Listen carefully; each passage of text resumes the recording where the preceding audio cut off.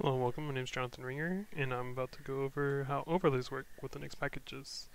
Um, so the main benefit of using uh, overlay is that you're able to introduce or change packages that exist on the main package set.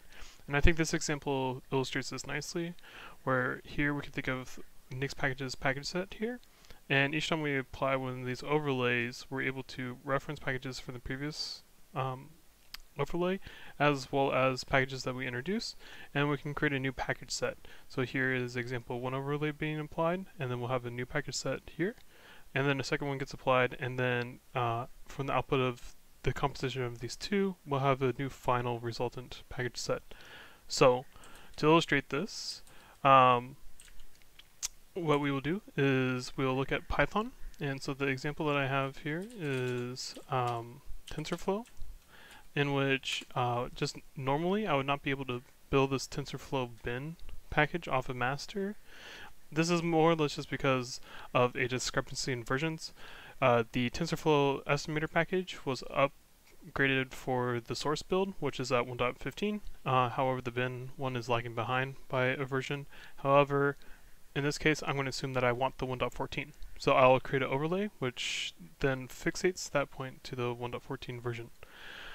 So here, um, I already went through the trouble of creating this overlay, uh, kind of out of scope of this particular tutorial, but suffice to say that once uh, I uncomment uh, this section here um, and rerun it, uh, you'll see that uh, I'll have a different error, and this kind of demonstrates how uh, overlays work. Um, this overlay in particular was able to inject itself with a new package. So here, um, this is for Python packages, so it's a little different. Usually most overlays are a little bit simpler.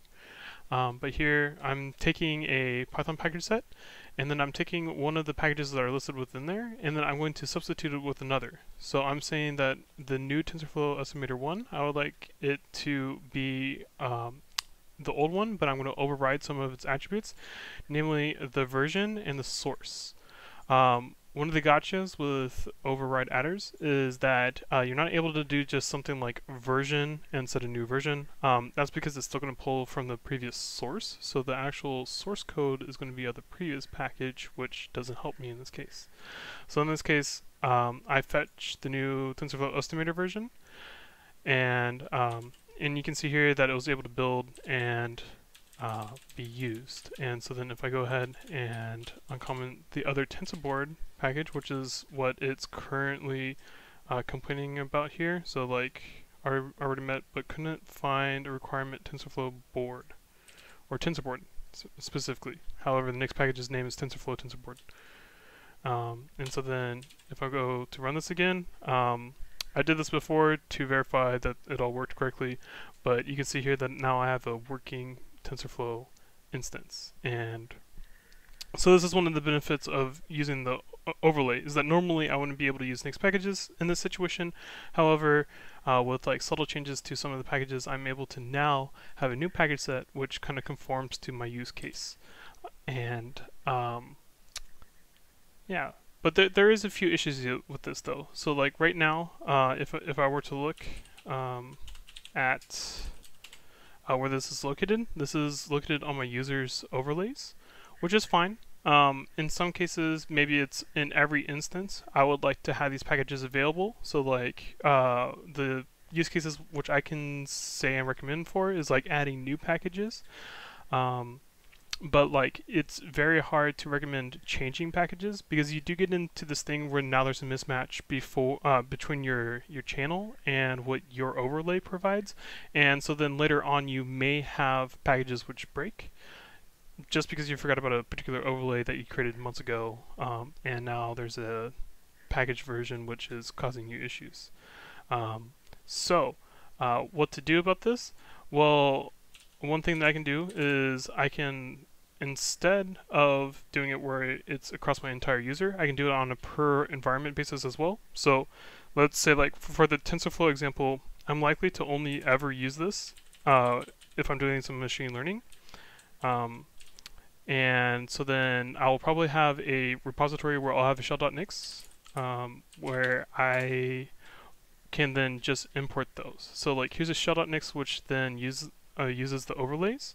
Uh, if we go to the TensorFlow overlay, um, you can see that I largely just copy and pasted this from my local one. Um, but the benefit of this is that how it gets leveraged is only within scope of this project. So now, um, if I were to do something like, uh, let's move the one from my local packages, so config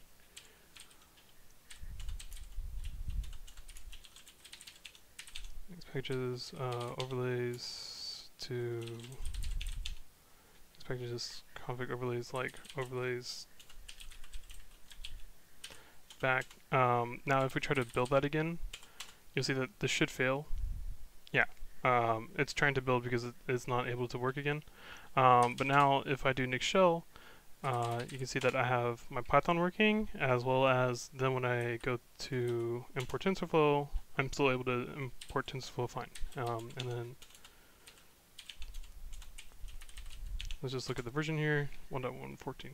So um, yes, this is uh, just a quick example of how to use an overlay, uh, both on a user installation level as well as a shell, and uh, hope you enjoyed it.